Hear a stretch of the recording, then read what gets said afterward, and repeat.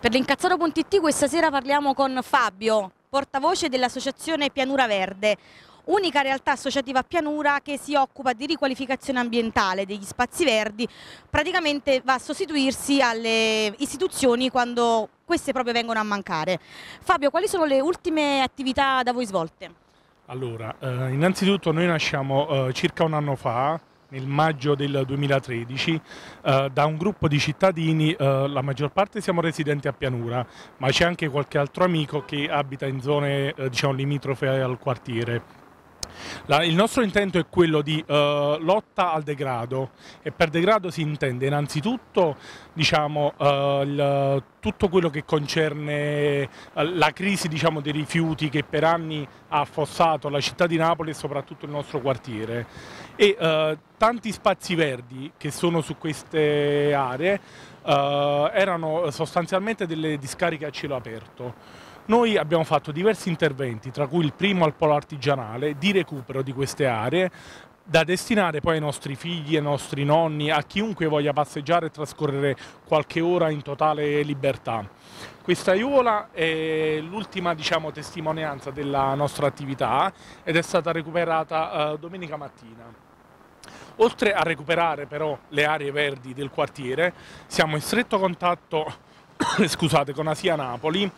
per eh, diciamo, eh, pubblicizzare le corrette prassi eh, nel conferimento dei rifiuti. E proprio domenica abbiamo fatto volantinaggio perché a breve partirà una nuova direttiva sul, sul, conferimento, come dicevo prima, dei rifiuti, ossia ci saranno dei contenitori magenta dove eh, verranno versate tutte le frazioni secche, quindi plastica, metallo, alluminio, vetro, carta e cartone e uh, quelli lì marroni che già sono stati posizionati in parte sul quartiere che sono destinati all'organico, quindi allo smaltimento della frazione organica. Per noi è un punto fondamentale informare la cittadinanza perché ci rendiamo conto che la maggior parte delle persone sono diciamo un po' pigre e uh, l'informazione gliela devi portare quasi a casa sostanzialmente.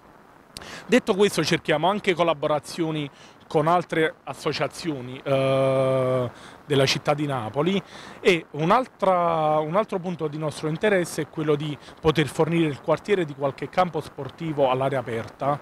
tipo come possono essere su via Napoli a Pozzuoli, per dare l'opportunità ai ragazzi comunque di svolgere attività all'aperto perché questo è un quartiere che ha bisogno uh, di dare qualcosa ai giovani. Ricordiamo che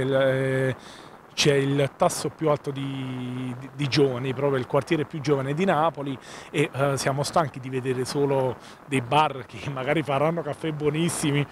o dei centri scommesse, ma qui c'è bisogno di altro, c'è bisogno di scuole, c'è bisogno di campi, c'è bisogno di centri di aggregazione. Uh, Fabio, considerando uh, che la vostra è un'associazione un uh, formata, strutturata solo da volontari, dal punto di vista invece dell'apporto istituzionale, siete in qualche modo organizzati? Avete aiuti anche dal punto di vista strettamente formale, di autorizzazioni o lavorate solo per attività di guerriglia gardening? No, no, eh, anche le nostre attività eh, di guerriglia gardening sono comunque avallate dalla municipalità, nel senso che nel momento in cui noi individuiamo, individuiamo un'area verde eh, da recuperare, comunque facciamo richiesta alla municipalità eh, per l'attività che verrà svolta, quindi ci muoviamo in totale legalità, siamo totalmente autofinanziati e eh, ci divertiamo tanto comunque, al di là di tutto eh, siamo un bel gruppo, è anche bello stare insieme e condividere delle ore e fare qualcosa di bello per il quartiere. Quindi veniteci a trovare e partecipate attivamente alle nostre iniziative.